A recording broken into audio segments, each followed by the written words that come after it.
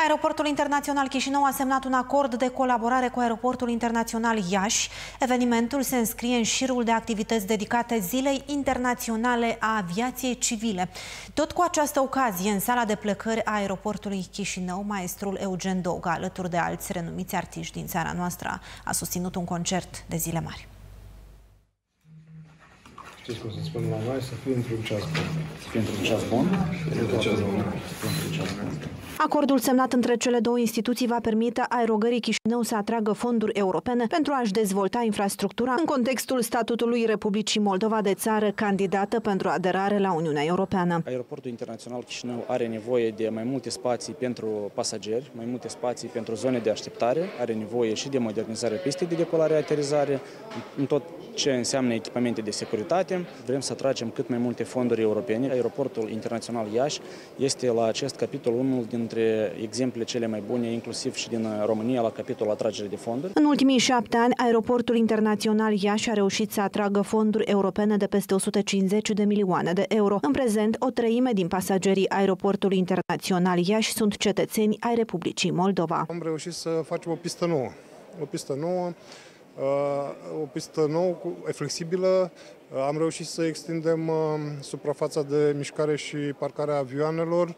Am reușit, reușim acum să construim un terminal de 31.000 de metri pătrați. Reușim să extindem parcarea acum la Iași. Am, avem patru proiecte europene pe fonduri, pe fonduri europene în lucru. Sunt dispuși să uh, ajutăm, să sprijinim. De pe aeroportul internațional Chișinău operează zboruri 19 companii aeriene. Radu Lisnic și-a urmat visul din copilărie de a deveni pilot, iar școala de aviație a absolvit-o în SUA. Bărbatul spune că a decis însă să revină să muncească acasă, iar de trei ani este pilot de linie la o companie autohtonă. A fost un drum lung, Uh, dar, într-un final, uh, își merită uh, efortul depus. Nu plecăm foarte mult timp, este ca o zi obișnuită de lucru, ca pentru fiecare, cineva lucrează în oficiu sau timpul de lucru nu e mai mult de 13 ore. Avem o echipă puternică de tehnicieni și oameni profesionali care lucrează în continuu pentru a menține starea tehnică a aeronavelor la un nivel înalt. De Ziua Internațională a Aviației Civile, pasagerii aeroportului internațional Chișinău au fost delectați cu muzică bună interpretată de renumiți artiști autohtoni.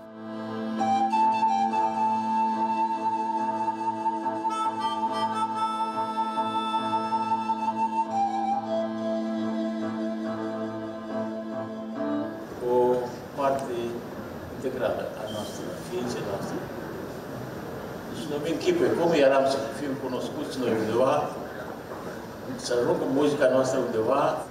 Eu uh, felicit în primul rând toată, toată lumea care zboară, care face și noi să zburăm Potrivit datelor administrației aeroportului de la începutul anului 2023, aerogara Chișinău a deservit aproape 2,7 milioane de pasageri, ceea ce reprezintă o creștere față de anul precedent cu peste 400.000 de călători.